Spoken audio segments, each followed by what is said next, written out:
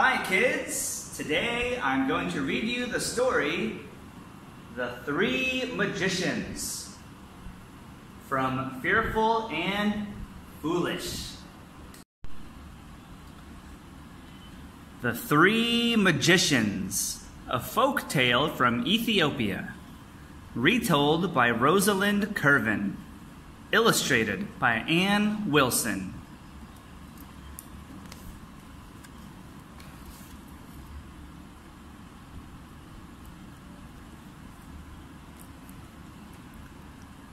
One day, three magicians got talking. I'm the greatest magician, cried the first one. I can work better spells than you two.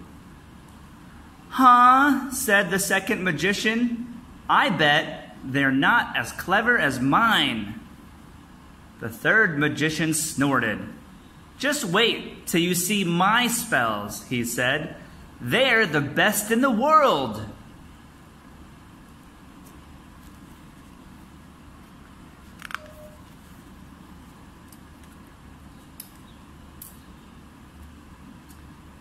There's only one thing for it, said the first magician.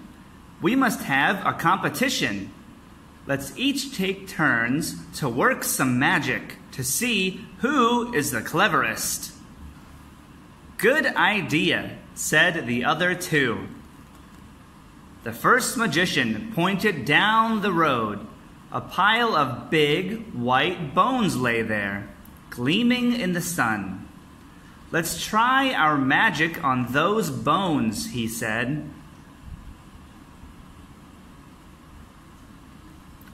Hold on, said the second magician. That looks like a dead lion to me.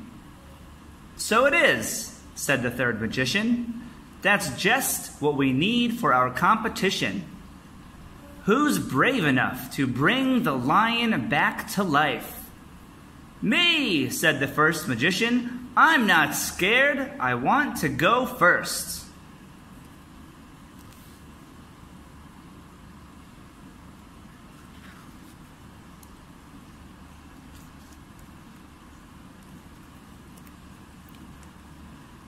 He stepped forward and held his stick over the pile of lion bones. He took a deep breath and shouted, Bing bong, don't be long, join up bones, nice and strong. At once the bones all jumped up and stuck themselves together, and there was the skeleton of a lion.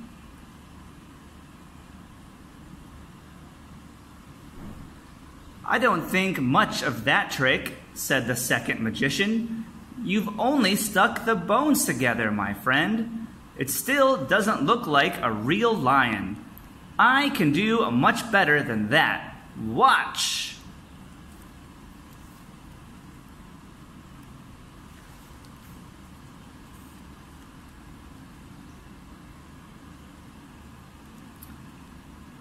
The second magician took his stick and waved it over the lion's skeleton.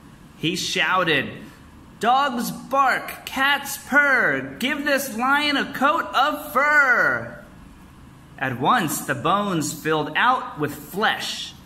Then the flesh was covered with skin. After that, the skin grew a thick coat of fur. Now it really did look like a lion.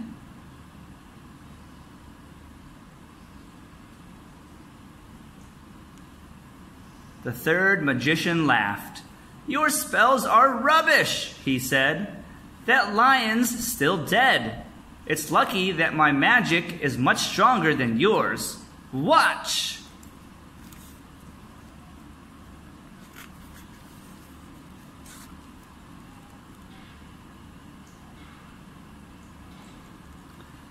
The third magician did a dance all around the lion then he threw his stick into the air and caught it. He twirled it round the lion's head and shouted, Ten, six, three, five, make this lion come alive. At first, nothing happened. But then the lion twitched. It blinked. It began to breathe. Then it stood up and stretched. It stared round at the three magicians with its big yellow eyes.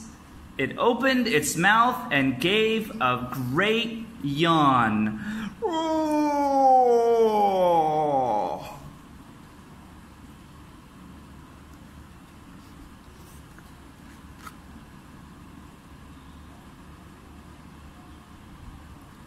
I've won! cried the third magician. I brought this lion back to life. Huh? said the second magician. Your magic wouldn't have worked without mine. I made it look like a proper lion. But it was my spells that joined the bones together in the first place, said the first magician. And the three magicians carried on, shouting and arguing about whose magic was best. They got so angry, they forgot all about the lion. But the lion certainly didn't forget about them.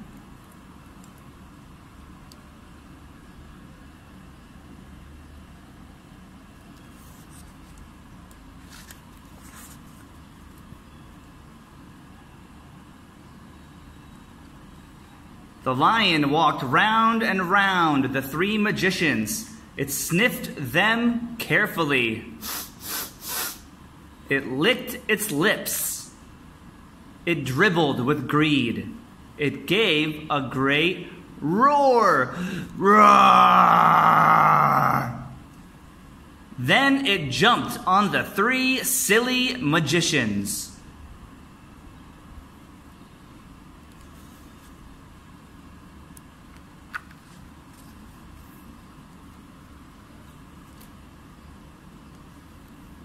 And gobbled them all up. Mm. The end of the story The Three Magicians.